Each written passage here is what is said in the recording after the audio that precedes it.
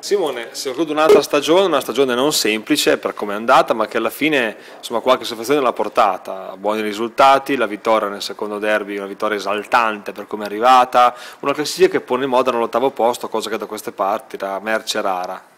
Sì, direi che siamo partiti molto bene all'inizio dell'anno, abbiamo fatto un ottimo inizio di stagione, poi abbiamo avuto un piccolo calo subito dopo la ripresa del campionato e poi direi che alla fine ci siamo ripresi alla grande e abbiamo dimostrato di essere un'ottima squadra. Rimpianti ve ne sono però?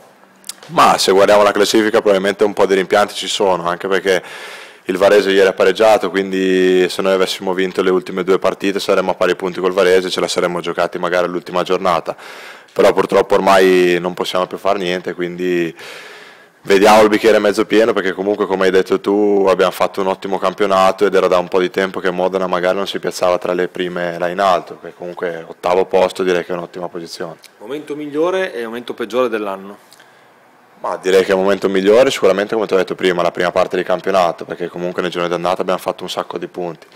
Il momento peggiore è subito dopo la ripresa di gennaio che abbiamo faticato a ritrovare un po' noi stessi. Per quanto riguarda Novellino, cosa dati in più in questa stagione quando è arrivato, dieci gare fa, la sterzata da cosa è stata data?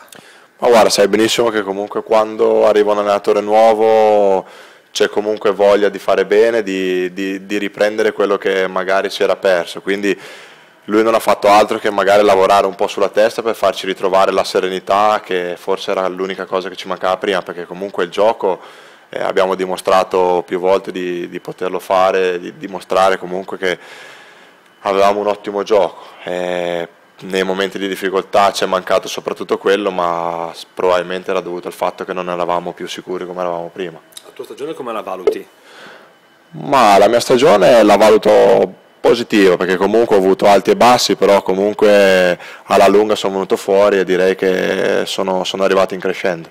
Tu sei fra i sei non ragazzini che hanno ancora un anno di contratto col Modena. Sì, io ho un altro anno di contratto, siamo in pochi, ma direi che a Modena ormai è la routine, tutti gli anni rimaniamo in pochi, poi la squadra viene rifatta e quindi direi che non ci saranno problemi eh, sotto questo punto di vista. Il tuo auspicio qual è? Che squadra vorresti, in quale squadra vorresti giocare?